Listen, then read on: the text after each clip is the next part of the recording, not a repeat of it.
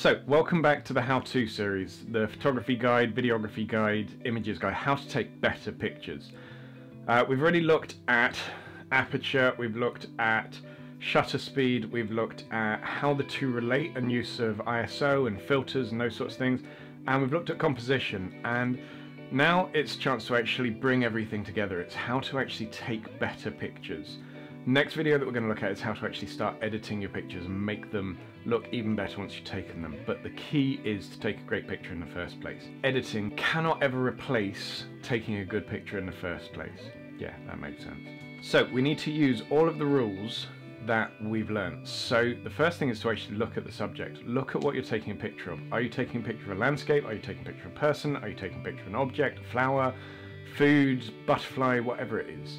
And look at it and work out how you want to represent it. So think about whether you want the whole shot, whether you want the whole product, whether you want the whole person, whether you want the whole landscape in your picture, or whether you just want part of it. So think about your composition, think about your rule of thirds, all of those sorts of things. But almost before you start thinking about the composition, make sure that you've got the right angle, make sure that you've got the right background.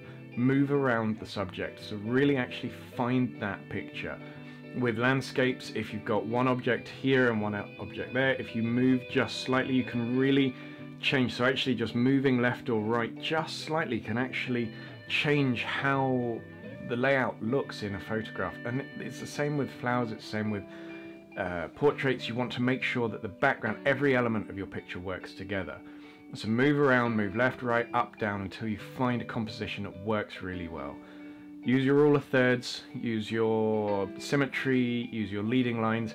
S-curves work brilliantly well, S-lines into a, a picture, so particularly for landscape, if you've got a nice, beautiful leading line that's got a beautiful curve to it, it will help draw your eye in even better. So once you've found your composition, then think about how you want to actually represent picture. Do you want it to be, do you want the depth of field deep or do you want it shallow? So start thinking about how much of the picture you actually want in focus. Is it a landscape? Do you want it all in focus? Do you want a little bit in focus?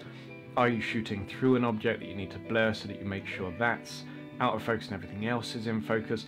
If it's a person, do you want just the eye plane in focus or do you want to actually get a little bit deeper or do you want the background in focus as well if it's something that connects that person to the portrait?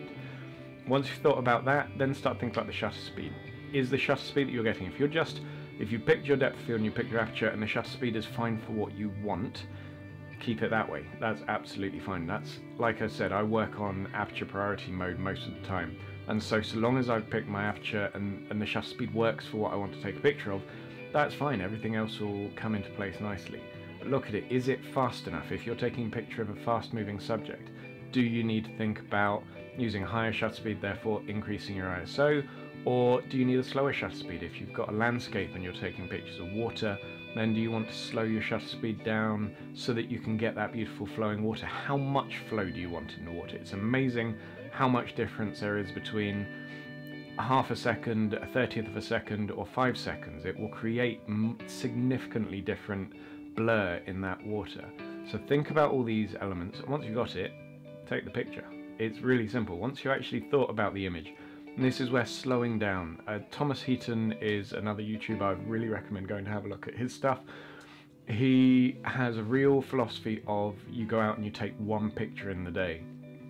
Now I'm not quite that minimal. I have to say that I take lots of pictures during my day, but the idea of just going out for one image and really concentrating on getting that one great image in your adventure, in your walk, in your project, in your shoot, that's a really good idea because it means that you're going to focus on that one image. If you happen to get other images as well, fantastic, but really think about the one image. Because if you want to take great photographs, they do require a bit of thought. If you just take 600 photographs in a day, one of them might might be great. Mostly, often sometimes by a little bit of luck if you're not thinking about composition, if you're not thinking about aperture, if you're not thinking about shutter speed. So that's the basic process. It's just thinking about it. And the more you think about it and the more you do it, the more pictures you take, the longer you've been taking photographs, the more naturally it'll come, just thinking about it without even having to think about it, if you see what I mean.